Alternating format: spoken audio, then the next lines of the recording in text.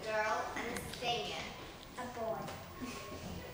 First up, we've got Stacey who's had a spin slip and a nose job, And Anne Robinson has had so much plastic surgery on her face that she can't even wink. That is just crazy. Definitely, but that's not all. Rihanna, the brilliant singer, has dyed her hair red and blue. Can you believe it? She's wow. mental. Next, N-Dubz are back together. Are Dappy and his axe. And also, Towie's Mark Markinini are lovebirds. Well, that's it for now.